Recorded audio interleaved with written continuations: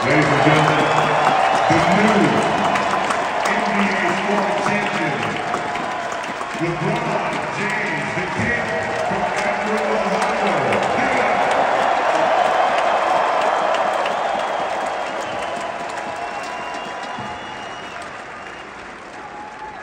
Oh, wow.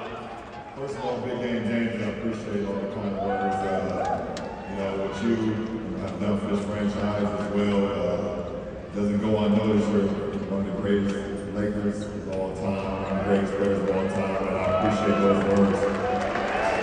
Uh, you know, uh, on behalf of myself, but this is literally about this crew right here. This is my five right here.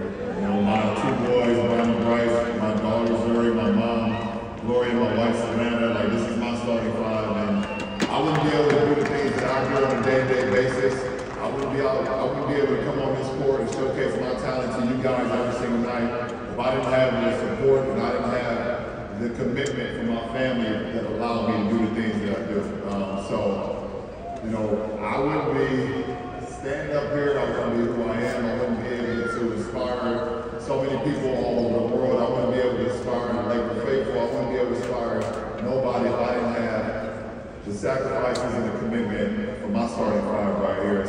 please give them a round of applause.